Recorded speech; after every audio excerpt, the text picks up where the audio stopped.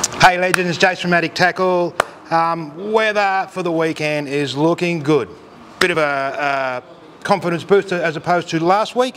Um, look, we're going to have south southwesters early in the morning, um, which will be a nice, calm, in close sort of thing.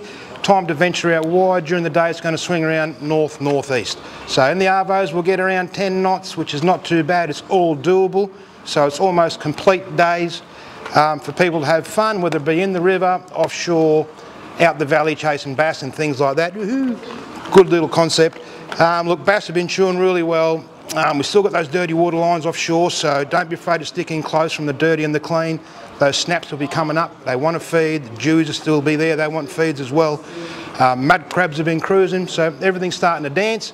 Just waiting for that water to clear a little bit more in the river, but things are starting to come on the chew now as of today, so it's a good sign. Um, good storm last night, so I've got reports of jacks and all that, so no excuse. Get out there, happy hunting, and enjoy.